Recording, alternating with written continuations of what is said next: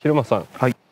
えーよく言ってる60点ショットって何ですかって、まあ、生徒さんとかにうん。聞かれるんですけど、はい。その辺についてちょっと詳しくお願いします。はいわかりました。小野さんははい、60点ショットって何を思ってこう60点ショットって自分の中でなんか定義とかあったりします？そうですね。60点って結果が60点っていう意識はあるかもしれないですね。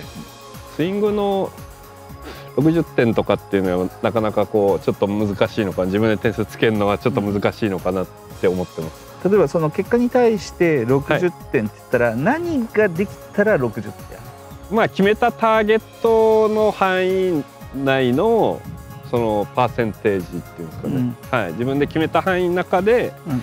まあ OK な範囲の、うん。まあ、へまあ100点が一番いいんですけどそこから90点80点70点、うん。遠くなるにつれて、まあ、そういうところはやっぱ思いますね。なるほど、はい。点数をつけるっていうことはなんかこう必ず結果として出るその指標というのが必要ですよね。で何をもって60点かっていうと人によってはグリーンに乗るのが60点っていう思う人もいるだろうし、るほど。例えばじゃあティーショットだったらフェアウェイキープしたら60点、はい PGA ツアーだったりとかはい。見てれば分かりますけど、フェアウェイキープしてないじゃないですか。グリーンだって乗らないですよね、はい。優勝争いしてる選手ですらはい。ミスすることって多々あるわけじゃないですか、それが60点って言ったら結構厳しいなっていうのがパーをセーブしたら60点とかボボギーだったら60点とか ー。わかんないですけど、はい。結果ではい。分かりやすいっちゃ分かりやすいんですけど、まあ結果で見ていくしかないと思うんですよね。はい。USPGA ではい。角度単位の正確度。ってえ意味分かります？わからない。まあ理想とされる落としどころ。まあ、はい。ピンじゃなくてもいいんですけど、はい。キャリーでそこに行きます。それに対して角度精度。要ははい。これが0度1度2度3度ってずれていくわけじゃないですか、そこに対して、はい。これってトップ選手のシード選手だったりとかシードじゃなくてまあスポットで出たりとかそういう人も含めて、まあ、ショットリンクっていうシステムでデータがこうあるんですね。えー。そのデータからすると大体トップ選手でどんぐらいの角度だと思います？理想値とされるところに対してはい。どのぐらいずれてるかっていうことですね。平たく言えば狙ったところに対してどんぐらいずれるかっていう。狙ったところに対して。うん。25度。25 25度。25度。っつったらとんでもない。これ時計一こああそっか。あの時計の1分で6度なんで全然ちょっと想像がつかない。想像つかない。自分だとどんぐらいずれてると思います？平均値さで、平均値で自分ですか、うん、例えば、まあ、言い方変えるとはい。100ヤードでどんぐらいずれます、100ヤードでそうですね。ずれる時は67ヤード。67ヤード。はい。狙ったところに対して、はい。例えばマキロイだったりとか、はい。ダスティン・ジョンソンだったりとか、ここら辺のショットの上手い選手でだいたい3度強ぐらいです。すげえ。3度強っていうことは距離に対するパーセンテージ例えばはい。100ヤードでどんぐらいかっていうと、はい。だいたい5ヤード。えー、平均値ですよ。平均で。平均値うんあくまでも、はい。つまりそれよりかミスすることも全然あるしはい。もっとピンに寄ってるケースもあるだろうし、そうですよねあまり上手くない人は4%強ですだからまあああ。4%って言ったら67ヤードのはい。間ぐらいなはいということですよね、それを考えた場合100ヤードってみんなどんぐらい寄せること考えてますっていう話ですよね。あー実際やっぱそこまではね、考えてないっすよね、うん。僕らも。多分ほとんどのアマチュアも含めてまあ、はい。プロもそうかもしれないですけど、ベタピンについて100ヤード以内だったら当たり前でしょみたいな、うんうんもうそれ当然でしょ、はい。みたいな、はい。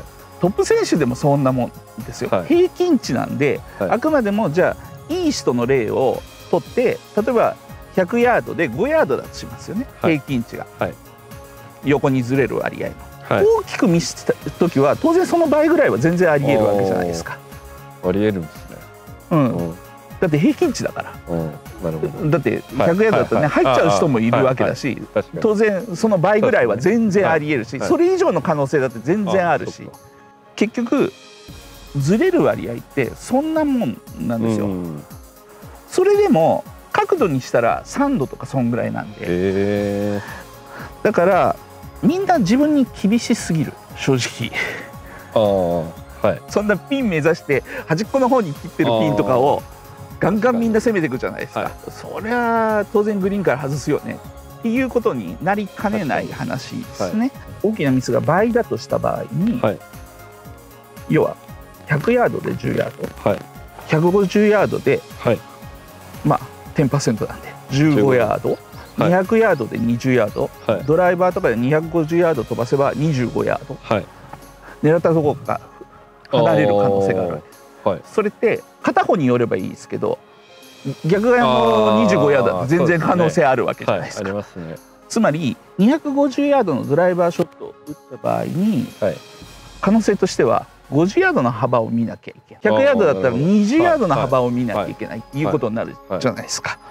結構な横幅だと思いません、はい、でもそんぐらいミスする可能性がある。ある、うん、特に一般人はそれ以上にミスする可能性の方が全然でかい、はい、普通に考えたらトップ選手でそのレベルだっていうことですよね、はい、その範囲に入ってれば、まあ60点って言えるんじゃないですかっていう話です、ね、ああなるほど、はい、つまり今の話で言うと100ヤードその地点から10ヤードの範囲に収まって20ヤードの幅に収まってれば少なくても横に関しては60点。と言えるんじゃないでしょうかっていう話だと思うんですよね。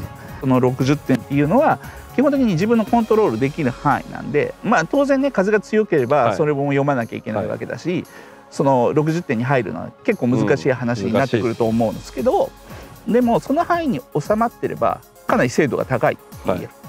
で実はあの僕の生徒さんとかにまあいわゆる90プレイヤーって呼ばれる人たちは一番多分多いと思うんですけど、うん、と90プレイヤーって何かっていうと90代も出るし80代も出るっていう人ですよね。この人たちで大体何パーセントぐらいその範囲に収まると思います？20%から30%ぐらいの間。ああこう落ちる感じですかね。ちょっともしかしたら右目に少し出さないと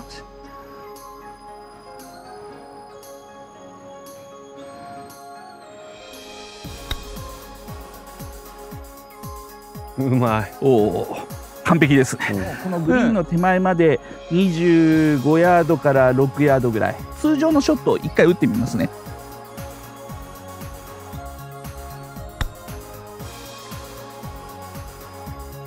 まあこんな感じですね、うん、今度はもっと低い球を打つ。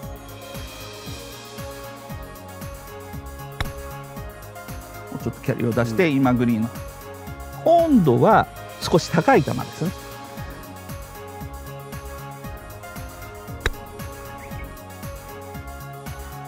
まあ柔らかく落ちましたね、感じでグラウンド削るぐらいの感じを少し持って。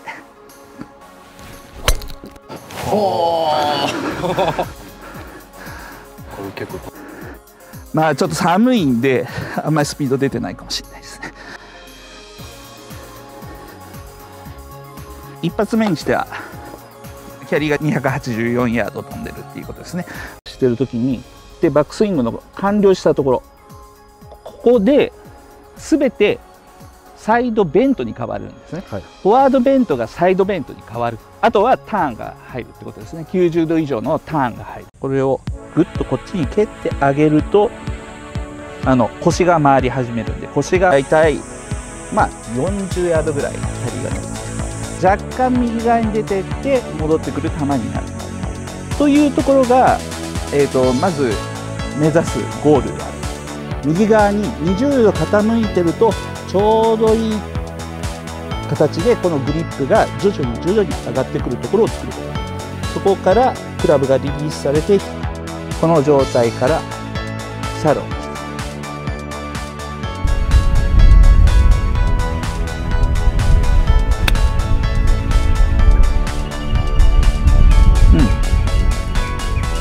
ナイスショットです。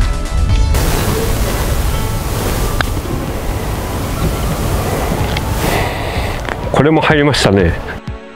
このようにですねつま先というよりかはかかとの左かかとの外側に重心があるのが、えー、と見てわかると思います。ここにあのデリバリーポジションが来ちゃうと外に行っちゃうからもっとここに落としてる感じ。こういう感じで落としてる。そうすればここの左側のギャップを埋めることで